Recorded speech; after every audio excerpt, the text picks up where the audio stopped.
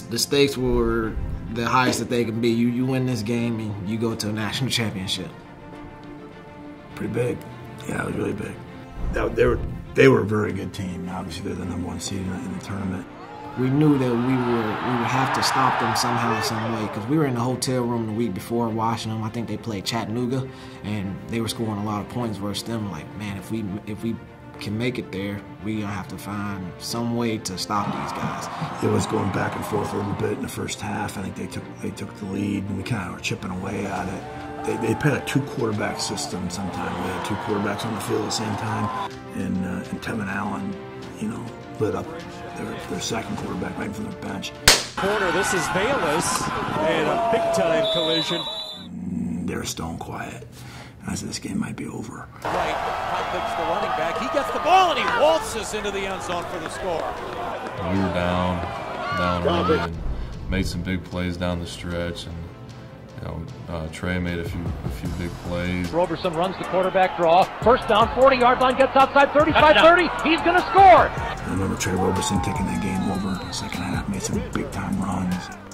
That drive was amazing, and he took it like 50, 60 yards, which was awesome. So the sideline was going crazy. Mike Banks made a great tackle on a fourth down play that was, I told Mike that's the biggest tackle in school history. I can't imagine a tackle more important than that. And we actually dialed up a zero blitz.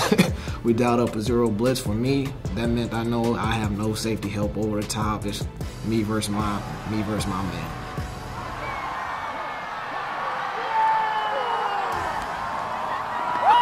That's who we are. That's what I'm talking about, Mike. And we come back and run the clock out. But I remember at that timeout, I think they called timeout, and it was a fourth and three maybe, and looked him in the eye and player, players and Kurt, what are you thinking? And he, we were talking, and the players go, 20 power. Hey, 20 power it is. And because that's our that's what we hang around. on. Roberson under center, gets it, gets it to Marshaun. He's got the first down as he dives across the 30. First down, Redbirds and an apparent victory for the Redbirds. They need to take a knee a couple of times, and this one will be in the book. That's it. The Redbirds 21, the Wildcats 18. That was probably one of the best locker room scenes I've ever been a part of. Just how excited everybody was, and you just saw how close that group was to the team. And...